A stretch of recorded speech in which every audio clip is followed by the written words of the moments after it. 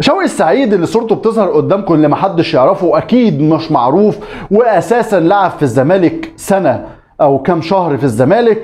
طالع بيقول إن أنا هبقى في غاية السعادة لو الأهلي اتغلب من كايزر تشيفز وبيقول الأهلي بيقول على نفسه نادي المبادئ هو كلام بس والأهلي لا مبادئ ولا يعرف حاجة عن المبادئ ولو لاعب مين الأهلي هشجع ضد الأهلي.